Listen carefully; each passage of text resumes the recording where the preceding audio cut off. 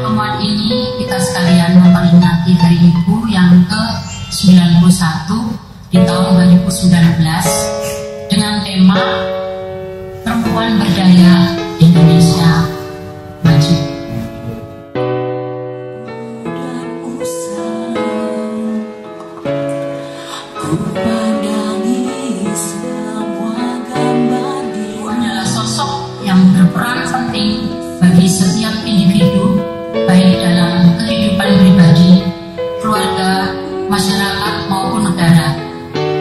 bahkan juga termasuk dalam kehidupan beragama.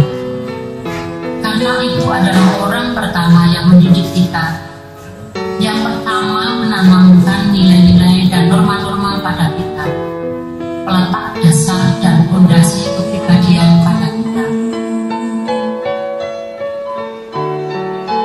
Bingkisan doa dalam sujudku oleh Wahyu Eka Nurisdianto.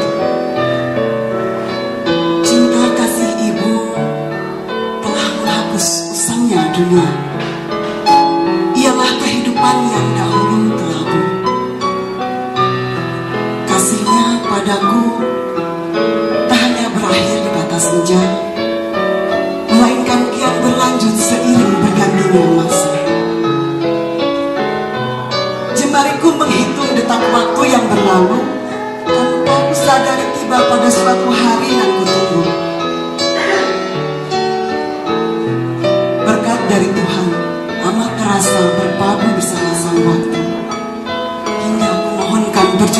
Harapan pada Ibu Esok di hari Ibu tiada kado istimewa buatmu hanya bingkisan doa dalam sujudku yang mampu kupersembahkan buat ibu. Meski doa yang kurangkai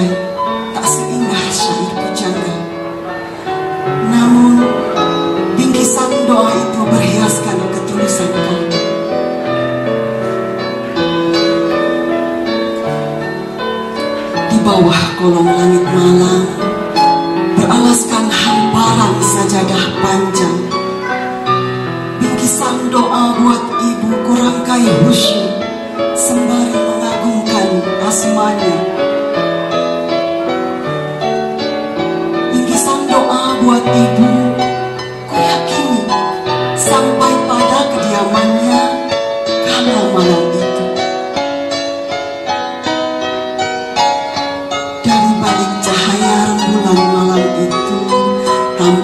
wajah ibu diliputi senyum Bangga dan haru. Ku peluk erat ibu seraya berkata padanya. Untuk sekian kali. Semoga Tuhan Senantiasa bersama ibu. Persembahan kami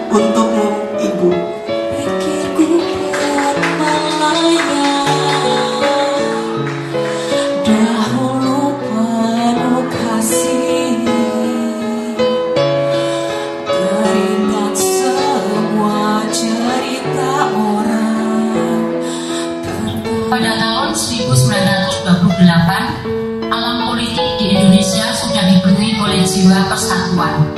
Rasa bangga, rasa telah menemukan diri sendiri, rasa memiliki cita-cita tinggi, yaitu Indonesia merdeka, telah mencekam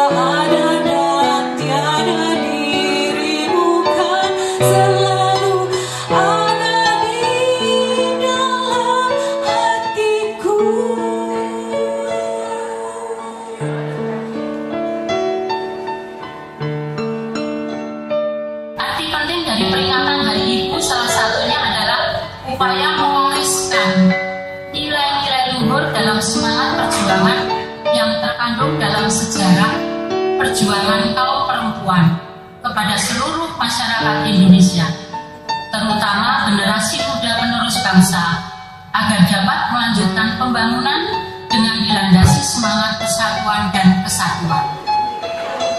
Selamat Hari Ibu untuk kita semua, ibu-ibu di sini semua.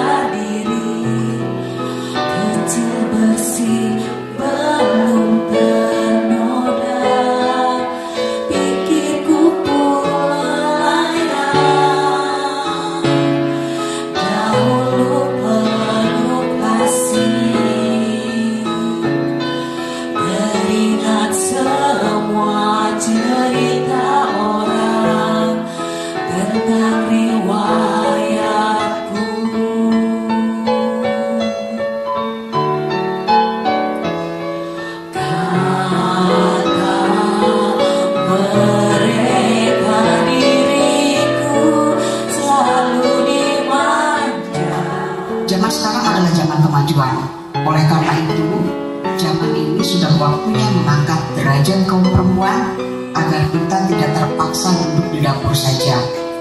Kecuali harus menjadi nomor satu di dapur, kita juga harus turut memikirkan pandangan kaum laki-laki sebab sudah menjadi keyakinan kita bahwa laki-laki dan perempuan mesti berjalan bersama-sama dalam